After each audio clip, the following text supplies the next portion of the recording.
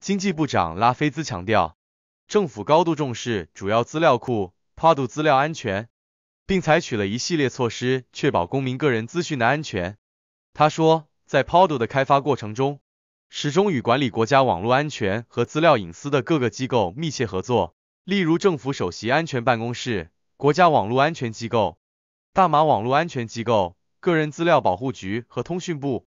在 PODU 的开发过程中，风险和安全防护计划以及防止机密资料不被骇客攻击和泄露，始终是各方优先考虑的问题。迄今为止，尽管每周有两百至两百三十万次针对 Pod 的网络攻击企图，但尚未报告任何资料泄露问题。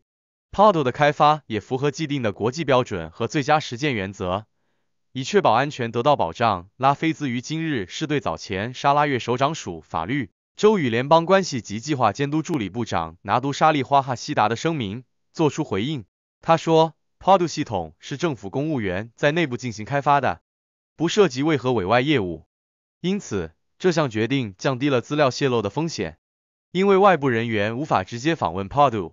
为了确保资料完整性和防止有权访问资料的官员泄露资料，政府首席安全办公室通过安全筛选过程对官员的诚信水准进行了评估。仅有被指定的官员才允许访问资料，并且仅限于各自的角色。这一安排是 PODU 系统管理标准作业程式的一部分。他强调。PODU 系统中包含的资料受到1972年官方机密法和1997年电脑犯罪法令的保护。他说，政府将始终确保资料的安全，